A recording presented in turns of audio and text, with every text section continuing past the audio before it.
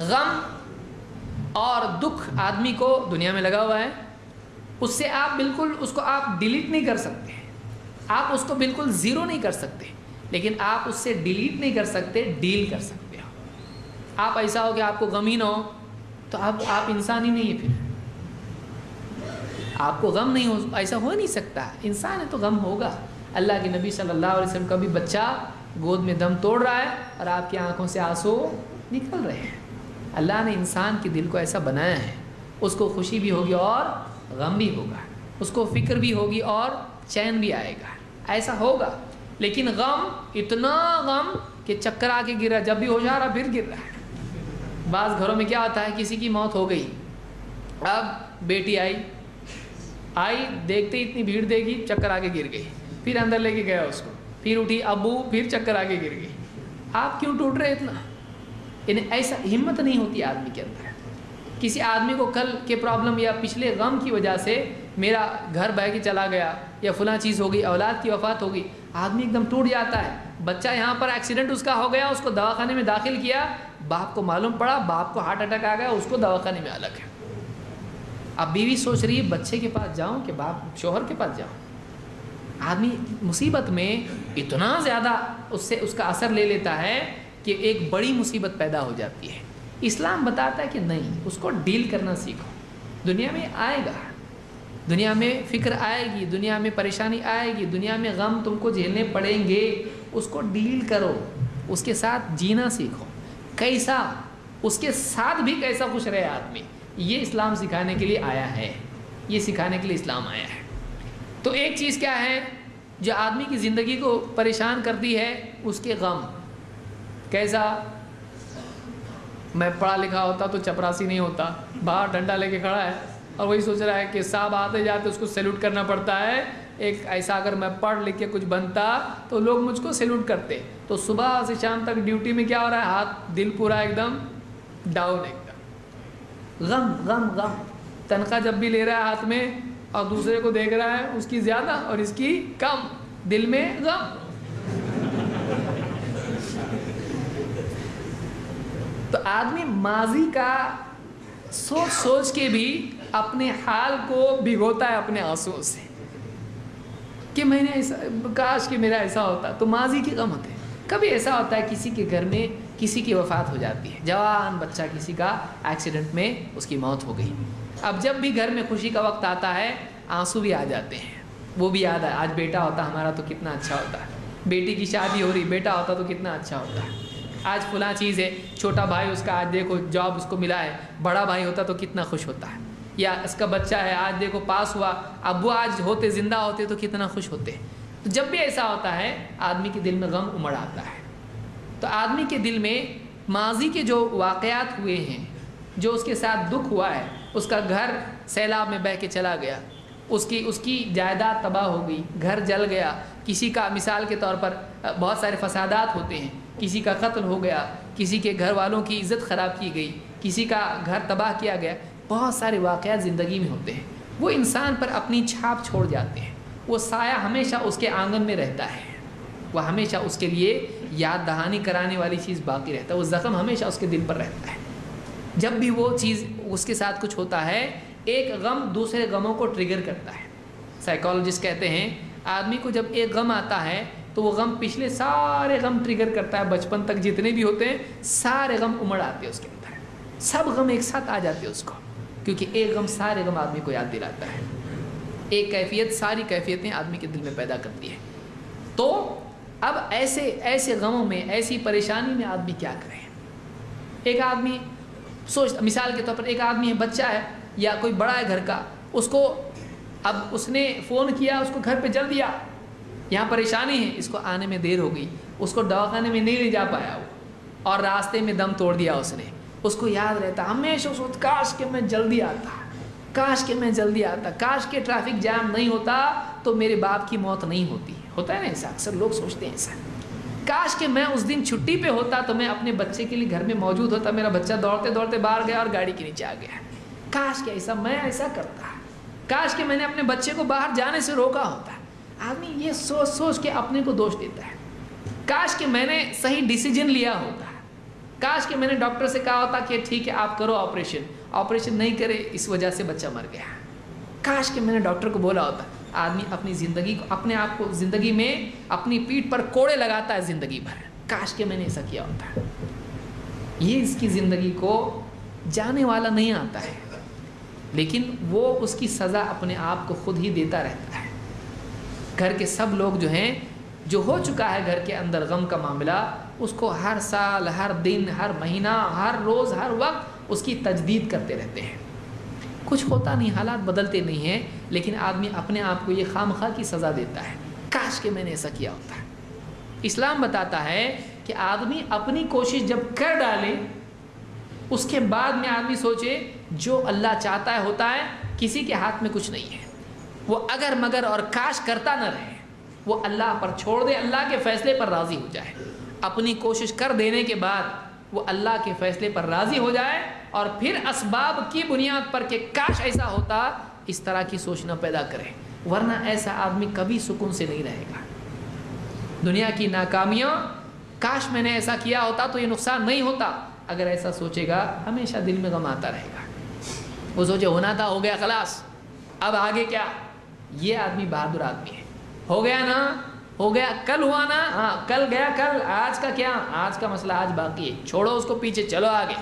अल्लाह के नबी सल्लल्लाहु अलैहि वसल्लम फरमाते हैं, अलमुमिनुल कवी खैर व अहब मिन अलमुमिन ज़ईफ़ व खैर एक मज़बूत मोमिन अल्लाह को कमज़ोर मोमिन से ज़्यादा पसंद है। मज़बूत मोमिन अल्लाह को कमज़ोर मोमिन से ज़्यादा पसंद है। खैर अहब ज़्यादा बेहतर है अल्लाह को ज़्यादा प्यारा है। कौन? जो एकदम मज़बूत आदमी हो। कच्चा नहीं। ज़रा ज़रा सी मुसीबत में फिसल जाता। इसमें हेल्थ की बात नहीं हो रही है। शेख हुसैन कहते हैं कि इसको जिम में लगाना सही नहीं है। बहुत सारे क्या बोलते हैं? अरे खाओ पियो, थोड़ा मज़बूत हो जाओ। क्योंकि अल्लाह को मज़बूत मोमिन पसंद है। ये वो मज़बूत नहीं है।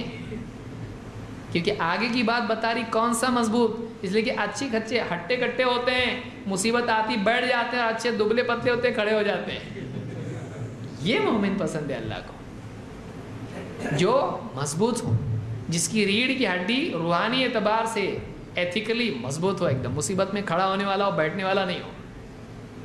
इसलिए आप फरमाते हैं कि मज़बूत मोमिन अल्लाह को कमज़ोर मोमिन से ज़्यादा पसंद है और ज़्यादा बेहतर है। और ऐसा नहीं कि वो बुरा होता है, कमज़ोर। जो मुसीबत में गिर जाए, टूट जाए, बुरा नहीं है, वो कमज़ोर है कमज़ोर है वो। इसलिए कि आपने फरमा वो फ़िकुल्लिन खैर और हर एक में खैर होती है। कमज़ोर मोमिन जो होता है, मुसीबत में परेशान हो जाता है, वो भी अच्छा ही होता है, बुरा नहीं होता है। वो उसकी कमज़ोरी है, वो क्या करेगा बेचारा? हल्के दिल का एकदम। आप फरमाते, इहरिस अला मा यनफाउक वस्ताइन बिल्लाहि वला ताजस ऐसी चीज़ की तमन्ना कर जिसमें तेरे लिए भलाई है। ऐसी चीज़ की हिरस कर जो तेरे लिए खैर है, जो तुझको नफ़ा दे।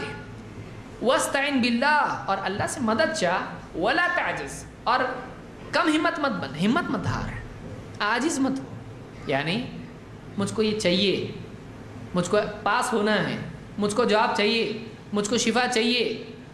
अच्छी चीज़ की तमन्ना कर, और अल्लाह से मदद मांग, ए अल्लाह मेरी मदद कर। मैं इंटरव्यू के लिए जा रहा हूँ। एला मेरी मदद कर, मैं शिफा के लिए जा रहा हूँ, बीमार हूँ, मैं दवा के लिए जा रहा हूँ। एला मेरी मदद कर। वस्ताइन बिल्ला वला ताज। अरे, क्या कुछ नहीं होता, कुछ भी किया तो नहीं होता। हिम्मत मत हाँ कितना भी ट्राई करे तो कुछ भी नहीं होता। ट्राई ट्राई करो और एंड में क्राई करो। नहीं। वस्ताइन बिल्ला वला ताजस अल्लाह से मदद मांग आजिज़ मत बन। कुछ नहीं होता, ऐसा मत बोल। हिम्मत मत हार। जो चाहिए उसकी तमन्ना कर। और अल्लाह से मदद मांग। और वला ताजस आजिज मत आ, हिम्मत मत हार, कुछ नहीं होता है समझ समझ।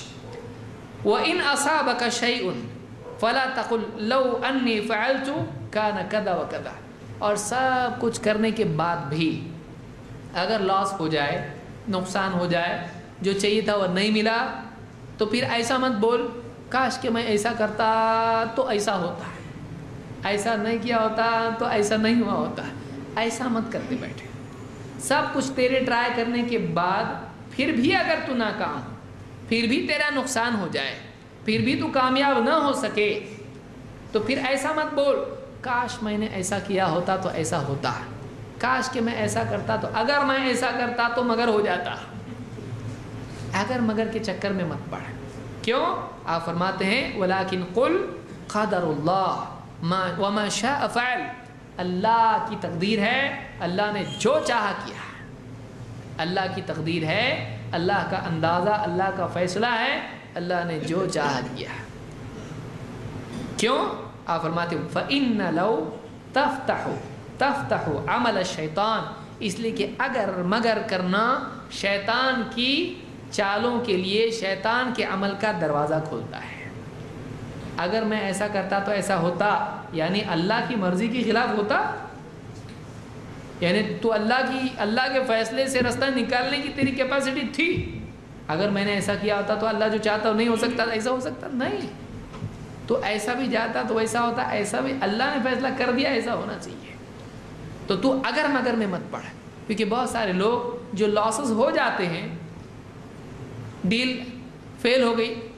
घर पे आके बैठा और बीवी भी देख रही, इनसे बात करने को नहीं चाहिए अभी। सिचुएशन थोड़ी गंभीर है। चाय लाऊं, पानी लाऊं, वो भी पूछने को डर रही हो। क्यों? इसलिए कि हज़रत हाँ हज़रत एकदम अभी चेहरा एकदम तमतमा रहा है और बच्चे भी क्या है, पढ़ाई नहीं कर रहे थे, खेलने वाले बच्चे भी पढ़ने को बैठ गए। वो भी पढ़ रहे। उल्टी किताब पकड़ के ही सही, लेकिन पढ़ रहे। अब्बू आए घर में और अबू का सिचुएशन ज़रा टेंशन वाली दिख रही है। और वो सोच रहे काश मैं आज ऐसा करता, काश मैंने ऐसी बात की होती, काश मैं ऐसा करता तो ऐसे नहीं होता। हालात बदलते हैं, उससे नहीं बदलते हैं। काश मैं ये दवा देता तो अच्छा हो जाता, काश मैं ऐसा करता तो काश मैंने रिश्ते में ऐसी बात की होती तो रिश्ता कैंसिल नहीं होता। है ना? आदमी सोचता, काश कि मैं ऐसा करता, थोड़ा और हैंडसम बन के जाता, काश कि मैं इंग्लिश में बात करता। अच्छा। काश मैं डिग्री भी, मेरा बायोडेटा भी लेके जाता रिश्ता। लड़की को भी दे, देखो देखो, जल्दी देखो इसको। काश क्या ऐसा होता। है काश के हम बगैर पर्दे की बच्ची को लाते सामने। काश क्या हम ऐसा करते। काश वाश कुछ नहीं है। काश से कुछ होता नहीं है।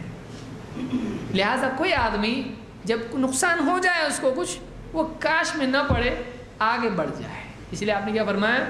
वस्ताइन बिल्ला बोला काज अल्लाह से मदद चाह जिस मत बन। फिर भी अगर कुछ हो जाए तो क्या कहे? नहीं हुआ ना। अल्लाह ने नहीं करना था, नहीं हुआ। अब होता गया, नहीं हुआ नहीं हुआ, गया। नहीं हुआ, हो गया, ख़त्म हो गया। अल्लाह ने चाहा, ऐसा हो, वैसा हुआ। हम उसको बदल सकते थे, नहीं। तो आदमी क्या होता है? दिल हल्का होता है। एक आदमी पेशेंट के लिए लेके गया, लेट पहुँचा दवाखाने में, और अगर वो ये सोचे कि मेरी वजह से मरा है, ज़िंदगी भर दुखी रहेगा। लेकिन वो ये सोचे, भाई, मैंने मेरी कोशिश की, अब अल्लाह ने इसकी ज़िंदगी नहीं लिखी थी। मौत से पहले तो नहीं मरा नहीं है मौत थी उसकी आगे रमज़ान में और मौत से पहले ये मर गया। ऐसा हुआ? अल्लाह ने जब उसकी मौत लिखी थी, तभी मरेगा वो। तो ये मैंने मौत नहीं दी, उसको अल्लाह का फरिश्ता आके लेके गया उसको। था, ये होना था, ऐसा हुआ। अल्लाह की तरफ़ से हुआ है। तो उसका दिल क्या होगा थोड़ा? हल्का होगा, इसमें मेरा कसूर नहीं, उसको महसूस होगा। बहुत सी ज़िंदगियाँ गमों की वजह से तबाह हो जाती हैं, अपने आप को ज़िम्मेदार करार देने की वजह से। या फुला को ज़िम्मेदार, घर में ऐसा बेचारा कोई होता है, सब उसको वो निगाह से देखते हैं। इसकी वजह से हुआ ये बच्चा अगर इस बच्चे को नहीं ले जाता अगर तो इसका एक्सीडेंट नहीं होता है। बाद वक्त ऐसा होता है। बेचारे की उसकी ज़िंदगी हमेशा गम में चलता है वो। जब भी लोग उसको देखते हैं उसको निगाह मिला के देखता है उसको लगता है, मुझको इस निगाह से देख रहे हैं सब लोग। मैं ज़िम्मेदार हूँ इसकी, इसके अपाहिज होने का ऐसा नहीं है। जो होना है अल्लाह की तरफ़ से, हुआ अगर ये सोचेंगे तो आदमी का गम हल्का हो जाता है।